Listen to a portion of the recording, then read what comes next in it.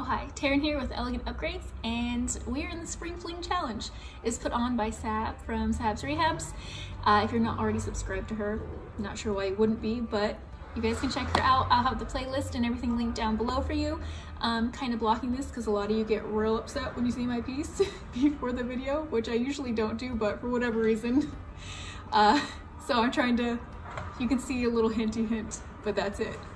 Uh, yeah, so I just want to thank all of you who helped me decide on what to do with this because it sat for so long, just like glaring at me and doing all the things to aggravate me because I just could not decide what to do. So thank you. I appreciate every single one of you who voted and helped me get this guy figured out. Uh, so if you'd like to see what we did, keep on watching. Welcome to this week's piece. So this is what we started with. Now, when I originally saw the pictures of this to go pick it up, uh, they clearly did not put the picture of the side in, or the fact that one of the casters was completely missing a wheel, or that it was missing an entire lower section of drawer. But that's fine, because we fix things. Um, I, I was trying to take the drawers out, the knobs just kept popping off. I mean, it just, it was in a state. So, we're gonna fix her up, and all will be right with the world. Now what I'm doing with this process is kind of going over everything as I'm taking all the drawers out because I clearly can tell that there's issues with this, so I just want to make sure that I go over every single piece and figuring out what all I'm going to need to do to fix it. So as far as the side goes, I know that I'm going to want to just completely remove these.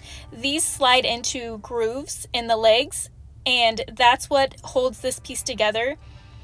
However, I couldn't get these out and I couldn't figure out what was happening until I got a little closer and they had done a patchwork over a screw and painted it so I couldn't see it. So there's a few screws in here that don't belong. Um, they just didn't really fix anything when they were getting this put back together. They would throw a screw in. There's paint in between all of the cracks of everything and so we're going to do our best to get this this old gal fixed up. Um, I'm also completely removing the top of this so that I have easier access to the structure itself and I can make sure that I get it fixed up the way that it should be. It will also help me just strip the top back without worrying about getting it on anything, so it's a win-win. Now I'm going through and I was taking all of the screws out of the top, which is a normal way for these tops to be put on. They use the larger screws and screw them up through the bottom and that's generally how they hold the top on. However, this one wasn't coming off until I realized that they had two, they had added two nails through the top of it into the bottom, and those were obviously covered in paint, so I didn't see those. So I'm going to leave the top on for a minute, take the casters off so that I can set them on its feet again, and then we'll get going.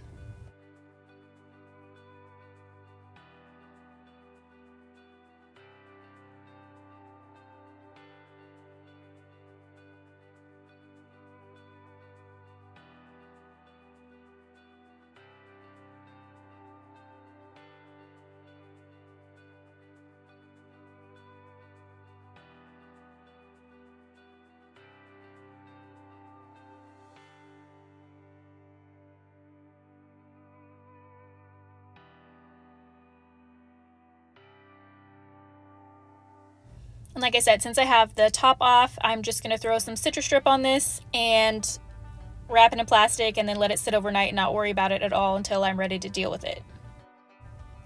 then once I had the top off, this whole piece just kind of opened up and it was really easy to pull the planks out and look at them and figure out what needed to be done.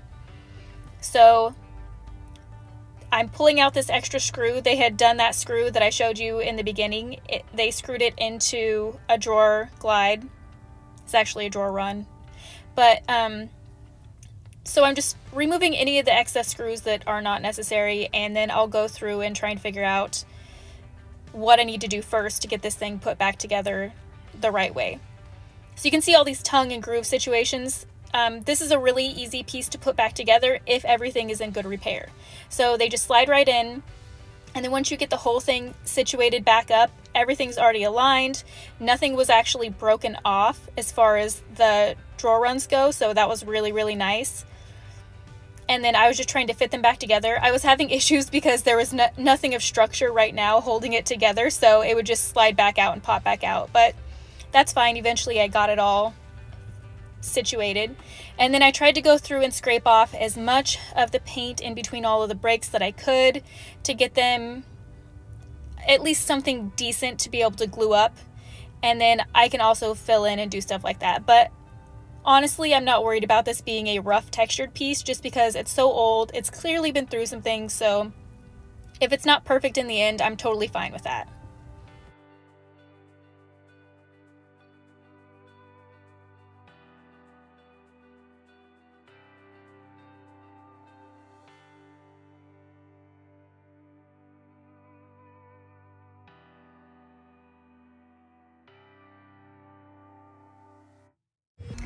Okay, so now that I have the pieces figured out what's going on here, um, we're actually missing this lower drawer support, which is that over there. This one doesn't have one. I did find this in my stash, so I can actually use this and it is the right size. The only thing I'll have to do is cut in a little piece here and here. So it'll fit in to the whole mortise and tenon situation this whole piece has to go together. So once I get this in, knock out some wood here, here, it will slide in here, and then we will have that lower drawer support there, and then I can put in the side panels. Yay this flush here. And then that's gonna fit in there. It's gonna fit in there.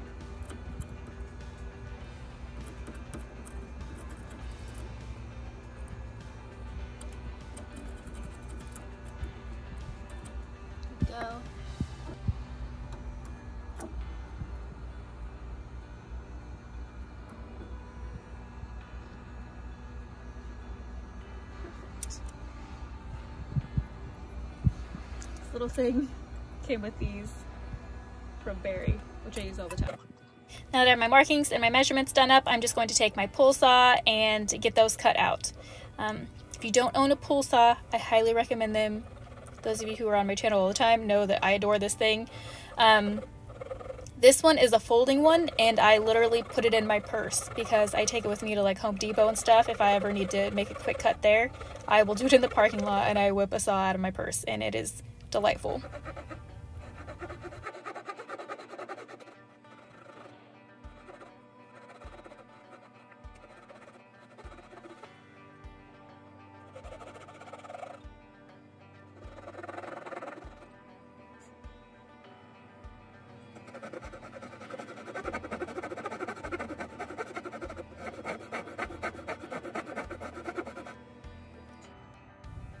Now that I've got that cut, I'm going to try and fit it in here. So the back was already notched out, so I didn't have to worry about that. The front, we just did those two notches to fit in the groove there in the front side. I'm just going to make sure it is level. And then this part was a little bit difficult because like I said, the carcass isn't supported right now on this side. There's nothing holding it together, so it kept wanting to slide out. So that's why I'm using a clamp to get it on there. You saw that other side just got knocked out again. So I'll have to make sure it's re-leveled and it was just kind of a pain and a little bit precarious until later on of course I realized oh I should probably clamp the whole piece together while I'm trying to work on it. So bonus tip for you in case you're having a dumb moment like I was. But anyways the backs of all of these runs are put in with a nail. So I did, just did that with my airstrike. And now I can start fitting in these side panels again, this gave me such a hassle because I'm trying to get these in here. I'm trying to make sure that they don't fall all the way through. I'm trying to make sure they're um, sitting right on either side and then also that I'm getting them lined up as best as I can. You have to remember that it has been a long time since this wood has been together, especially because there's paint and stuff that's been kind of keeping it apart. And so I just did the best that I could, getting it all put together. And I probably could have just done new paneling, but I feel like this piece is old. It's got bumps and all kinds of the nicks in it all over the place. So just having this one side isn't anything. I mean, having a fresh side I think would have looked weird. So we're just going to repair and move on.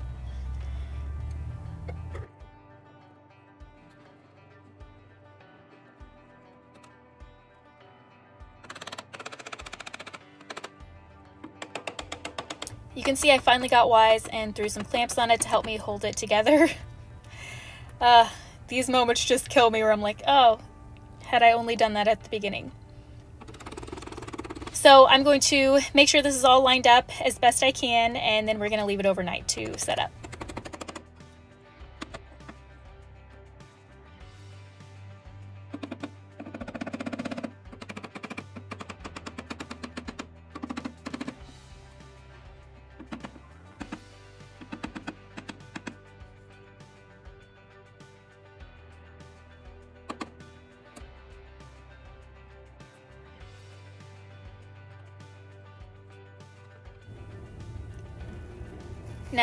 This has been sitting overnight, and as I'm lifting off the plastic, you can see the paint just wanted to come off of this thing. It just was coming off with it. So I was like, oh, well, that'll make my life a lot easier.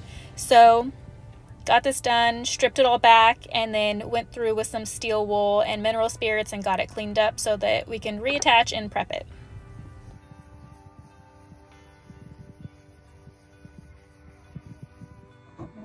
I'm using all of the same screws that it came with. I do try and do that as much as possible. Sometimes you just can't, but in this case, all these screws were still um, in great shape. So I use those same screws to reattach them, and this will give me something easier to sand on instead of it wobbling around everywhere.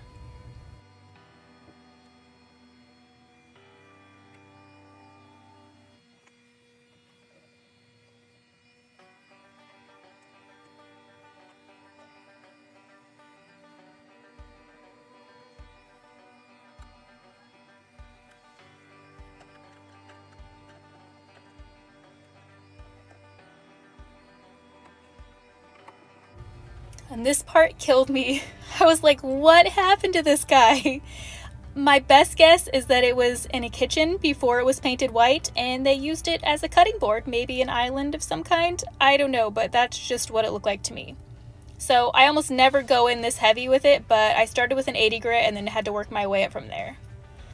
And then even once sanding was finished, there was still quite a bit of staining going on, so I used some oxalic acid, I did two rounds of this because it needed it. Um, I'm only going to show one, but you put it on. I let it sit overnight. I came back in the next day, did another coat, let it sit overnight, and then you can do a complete white back. And you want to make sure that you get it all off.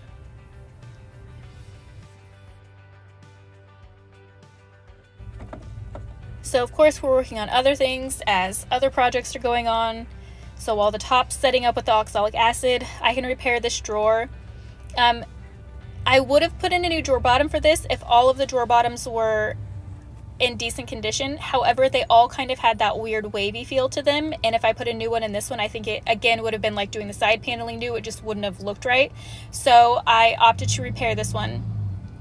And the repair took really, really well. So um, what I did is just put glue in between here and then I will take blocks to build out the areas so that I have something to clamp down and hold it.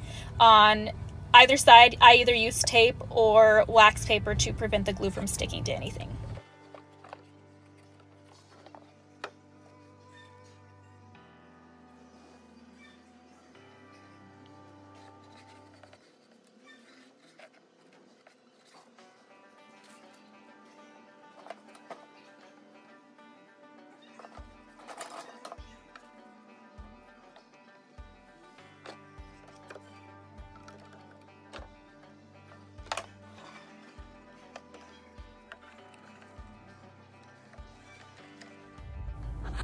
Now I'm going to take my wood filler and I'm just filling in any areas that need it. I'm not going crazy, so this was a larger chunk, but any of the smaller dings, I'm opting to leave those in the piece because I think it's just going to add character at this point.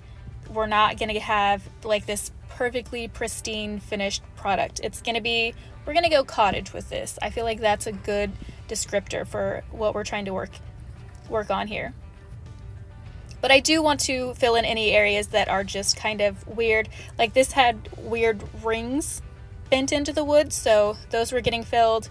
You know, just any spots that I deemed necessary. They got wood filled. And then we'll let that set up.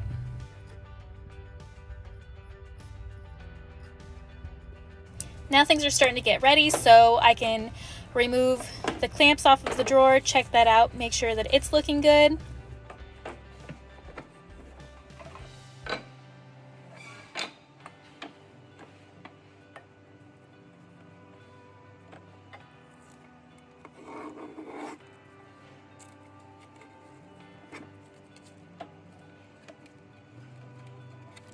And then move back over to the top. And as you can see, it's just not exactly perfect, so I'm gonna have to figure out something to do with this top. I initially wanted to kind of leave it natural, but I'm just not going to be able to with the amount of damage that the top has sustained, so we'll figure it out. But for now, let's just clean off all the oxalic acid.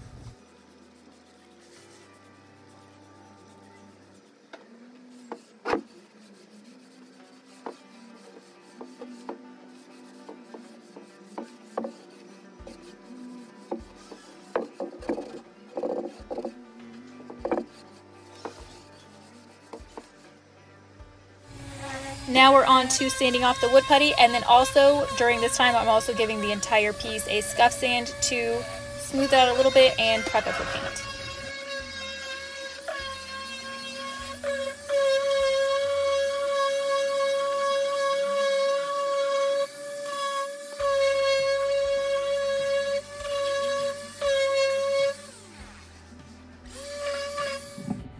As I was going along, of course, I found something else to fix. So there's just this kind of weird crack in the wood here in the drawer. So I'm taking some of my um, sanding dust from my sander from the top. So it's the same wood.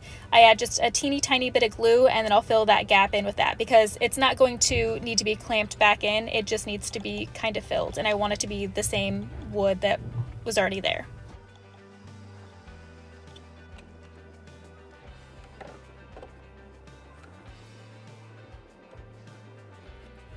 Now we're busting out the bag of tricks. Uh, just kidding. This is just a surplus of what I had from when I did the ethereal dresser piece. Um, I'll put a little link somewhere if you want to see how I did that one. But I had tons of these extra, and I'm so thankful for that now because it was very upsetting at the time having so many of these. But now it's kind of nice just to be able to pull them out and throw them on a piece when I need it. So I just worked out an arrangement with a lot of these molds that I already had and glued them on.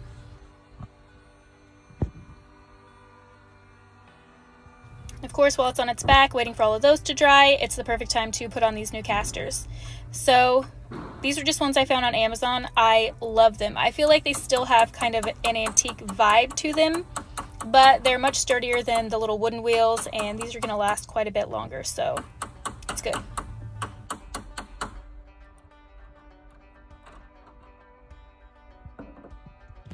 Now, if I didn't have molds on this piece, I probably wouldn't have bothered to prime it because the paint in itself it would have worked as a decent primer. It wouldn't have had adhesion issues, um, and there wouldn't have been any bleed through. But since I did the moldings, I don't like paint directly over those without a primer because I find that it doesn't adhere right, so we are now priming the entire piece because of that.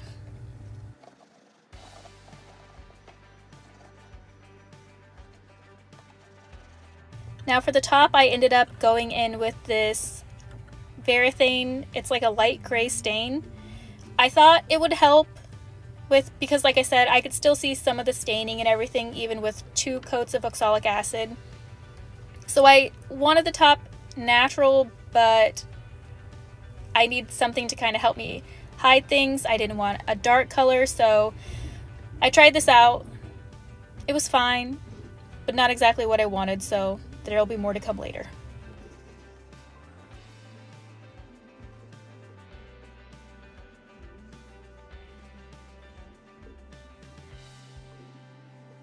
Now I am going to seal over this with poly just because it's going to create a protective barrier between the next step. Um, and I'm also including this with the poly here. My shop this day was extremely cold and my poly was too thick. So you'll see it going on thick and weird and I should have just known better and thinned it out before I started working, but I didn't. Sometimes I just like to fight with myself for no apparent reason. So I'm just showing you this. You don't have to worry about it. It will be totally fine. It looks all kinds of crazy. I'm just going to smooth out any of the heavier sections and then just not overwork it because that's where you're going to run into issues. But it's just going to look crazy for a bit, but don't worry. It'll dry down just fine and then you can go back and give it a light sand, which I do between all of my poly coats anyways.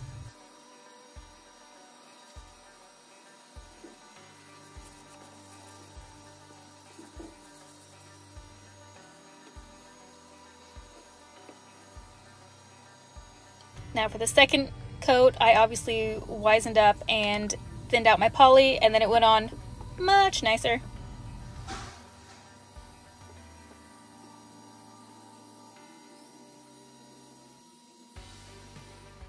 Now we can head back to the body, and since I don't know what I'm doing with the entire piece, I do know that I'm putting decoupage on the front of this section, so I'm just going to add in um, some white to pop the decoupage paper just a little bit more. And so this was the winner of the post that I did. You guys, thank you so much for voting and tell I was struggling so hard with this. And it even was hard to break it down to those three images that I chose. So I'm so grateful to you. I hope you know that. So I just do a rough cut on this to get it fit in, and then I can just rip off any areas around the moldings that I want. I'm never worried about this being perfect because I painted my decoupage papers, so it all gets covered up in the end. Now this is a print that I do at home off my computer. You can order from Zazzle or something like that if you want to have a company print them, it will be on much thicker paper. This is like the thinnest tissue paper possible. I like it because I feel like you can't see it in the end result, but it's not terribly easy to work with. So there's always give and take with every kind of medium you use. Now for me, the easiest way to do this one, and honestly it changes with every piece, what depending on what I'm doing. But I just did a strip along the top of the poly. I use my satin poly, that's how I adhere it.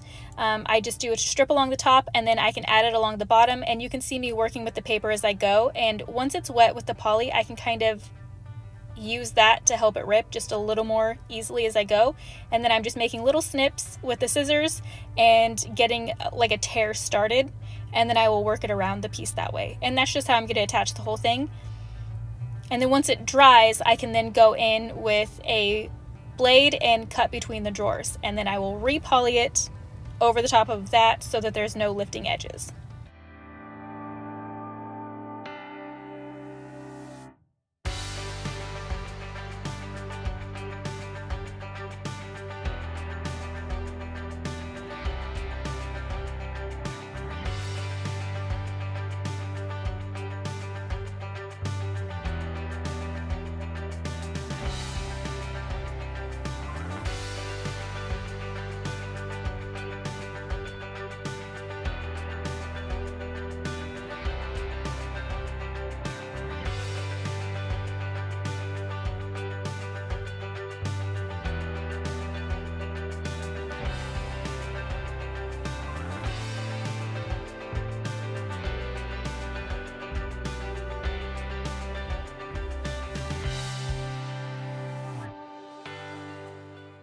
Since I want this to have kind of a watercolor feel, I'm going to go over the entire piece in Devonshire Cream, which is just a very lovely creamy white color. And this is going to help give the watercolor illusion because it's lightening up all the colors. So I chose a few colors from the print itself that I thought went well.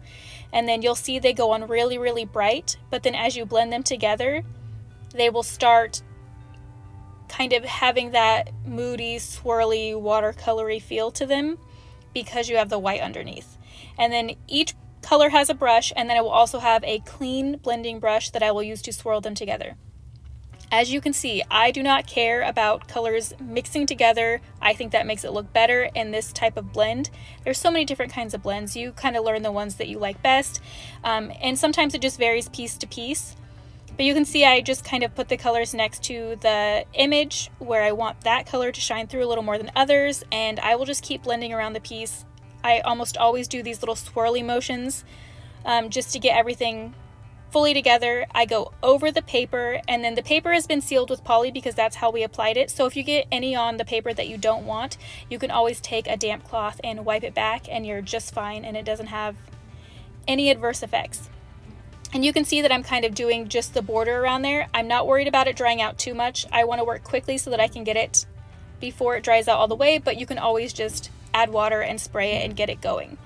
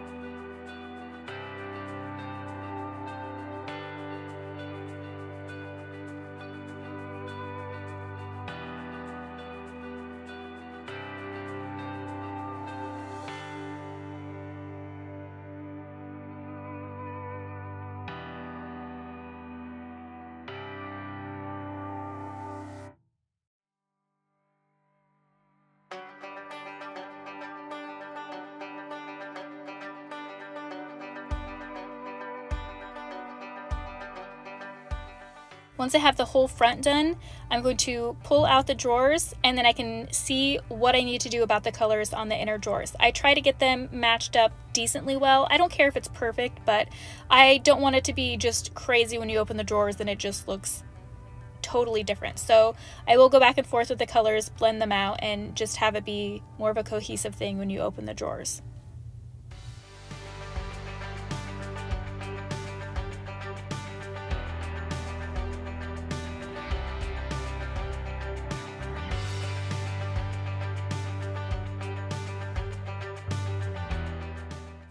Just to add another layer to this piece because I feel like it needs it, um, I'm going to dry brush over the entire thing. So this is going to really actually make those distressed points in the dresser stand out even more. So again, this is not a super clean finish. This is meant to be very old, cottagey in that kind of realm. So that's what I want to do and it's going to make the details pop a little more and just kind of make it look a little, little more lived in.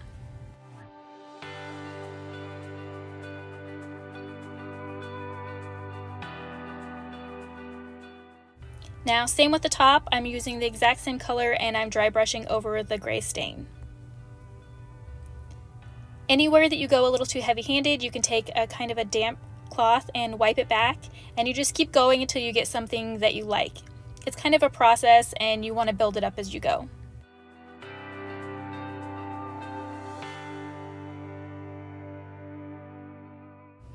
I sealed everything in on the body on the body with just some satin poly.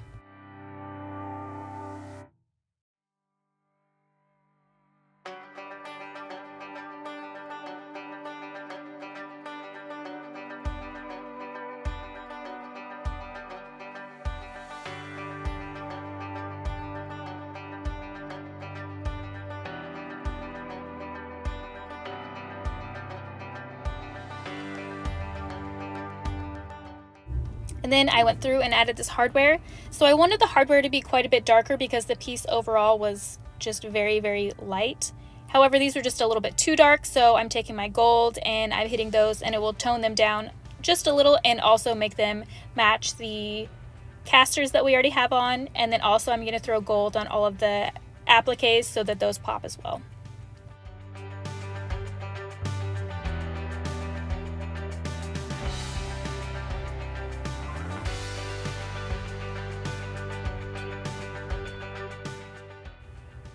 And then on the top, I just, I don't know.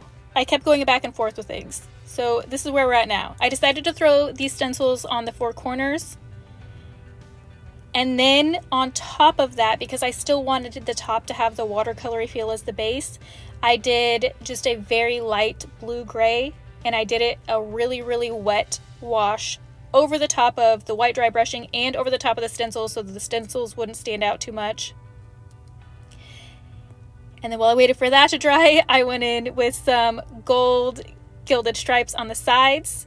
And if you want clean stripes, this is not the way to do it. You'll want to use a liquid and you'll want to use tape. But because this is kind of a grungy finish anyways, I did the gold gilding wax with a stencil of stripes. And then anywhere that you have extra gilding wax that you didn't want on there, see like it gets a little bit messy, you can just take some clear wax and a rag and it will wipe it back. And you can totally get rid of it that way. If it's been sitting for a while, you'll need a little bit more of a scrub, but it works. Just give it some time. A little bit of elbow grease or finger grease, if you will. And of course, any areas that I missed, I'll just use a little detail brush and fill those out. And back to the top, now that that's dry, I'm going to seal it with white wax. And that is just going to add to kind of the watery look. And I think this will be where I end the top. It went on a journey, but I like where it ended up, so we're good. Well, I hope you all enjoyed this. It was such a process. This thing was just I mean, falling apart essentially is where we started. So I'm really pleased that we got to put her back together and just really embrace the charm of these old little, little dainty dressers. I just think they're so, so sweet. Um, and they're some of my favorite pieces to do. I feel like they fit into tons of people's spaces. You can get them into um, quite a few vehicles, so they're good in that regard because a lot of times that's a hindrance for someone to be able to come pick something up. But these fit in a hatchback pretty, pretty well. So um, I've seen some people work some magic in their cars. But I just, I hope you enjoyed this process. Again, thank you so much to all of you who helped me decide and vote on the post because I really just, I mean, it was just very daunting for a while. Um, I'm sure you guys know what that's like to just have something in there you just can't get it out. So thank you so much. Thank you guys just, you're the best humans ever. I'm so, so appreciative of all of you, all of your likes and comments and everyone who subscribed. Truly just thank you so, so much. And I hope that you know that that is so enough. I don't ever, ever need anything else. But the people who do go above and get me stuff off my wish list and my, my buy me a coffee thing, I, I mean, I'm just blown away every time. So I don't want anyone to feel like they have to do any of that. I just think it's super cool when they do. And I just totally appreciate every comment and like and everything like that. You don't have to do anything else. I just opened the membership tab so you can check that out as well if you are interested in that. But uh, thanks so much. I'll get you guys some photos and I will see you next week.